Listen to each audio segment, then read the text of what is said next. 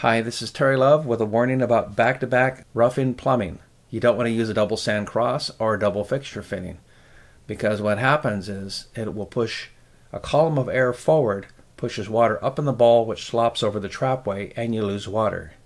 Watch what happens when the other bathroom is being flushed. Boom, you see the water rising up, and a little bit of water slops out. What happens when you flush it a second time? So, if you have one bathroom where people are constantly using that bathroom, then the bathroom that's not being used so much, every time somebody flushes the other one, you lose water. Now, I kind of like water in a bowl. I think it's a great idea. Both Kohler and Toto, both Kohler and Toto recommend that you use a double Y fitting. Using a double Y fitting and not a double sand cross or a double fixture fitting. The double fixture fitting and the sand cross both push water out of the bowl when the opposite bowl is flushed.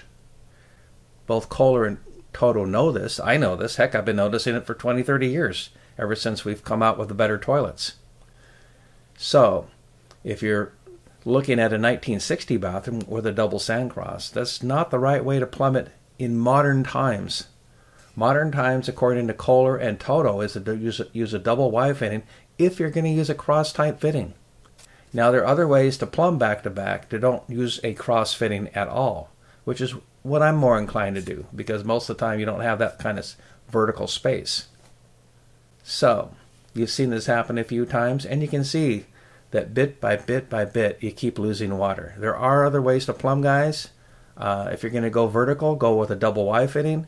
Do not use a double sand cross. Do not use a double fixture fitting. This is what happens when you do that. If you want to know anything about plumbing, terrylove.com forward slash forums. We have all kinds of information for you there. Hope to see you there.